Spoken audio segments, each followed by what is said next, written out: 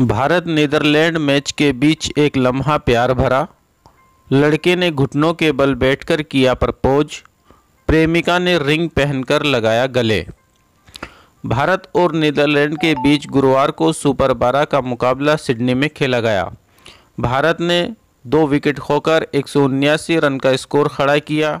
Netherlands छप्पन run से यह मैच हार गया। बहरहाल बाउंड्री लाइंस के दूसरी तरफ़ यानी स्टैंड्स में कुछ ऐसा हुआ जो अब वायरल हो रहा है। दरअसल मैच के दौरान एक भारतीय जोड़ा स्टेडियम में मौजूद था। लड़के ने घुटनों के बल बैठकर लड़की को प्रपोज किया।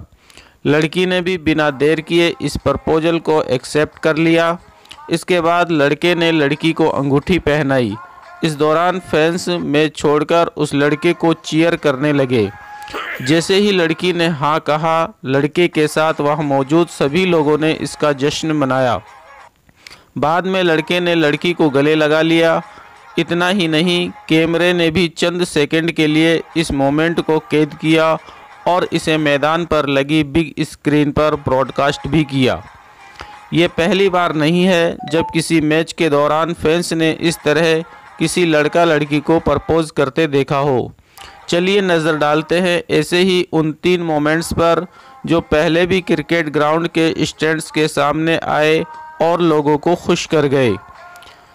पिछले साल एशेज सीरीज़ में ऑस्ट्रेलिया और इंग्लैंड के बीच गाबा में चल रहे मुकाबले के दौरान इंग्लैंड के एक युवा ने ऑस्ट्रेलियाई लड़की को प्रपोज किया था। प्रपोजल स्वीकार कर लड़की ने लड़के को गले लगा लिया।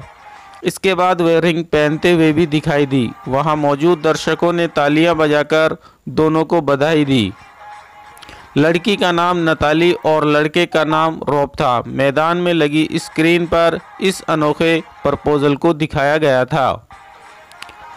आईपीएल 2022 के दौरान चेन्नई सुपर किंग्स और रॉयल चैलेंजर्स बेंगलुरु के बीच पुणे में मैच खेला जा रहा था।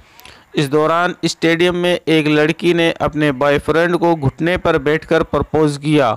लड़के ने भी अपनी प्रेमिका को गले लगाकर रिंग पहन ली और प्रपोजल स्वीकार किया।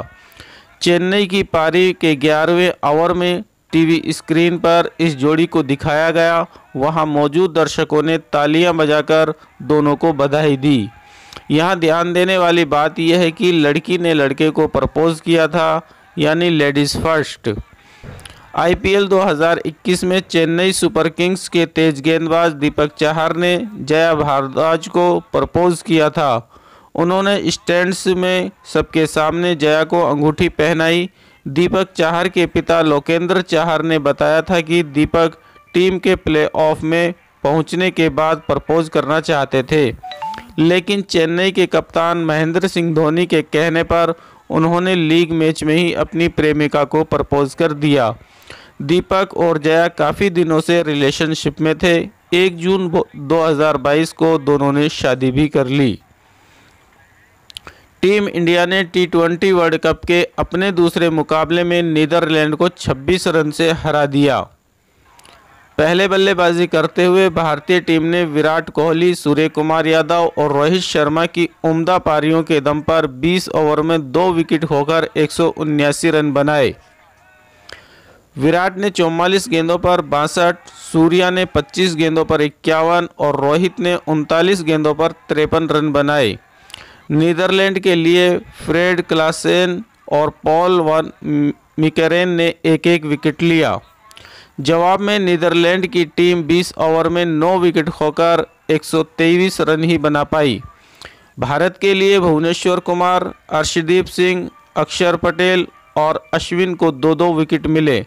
वहीं मोहम्मद शमी के खाते में एक सफलता आई। इस जीत के साथ ग्रुप दो में भारतीय टीम चार पॉइंट के साथ नंबर एक पर पहुँच गई है।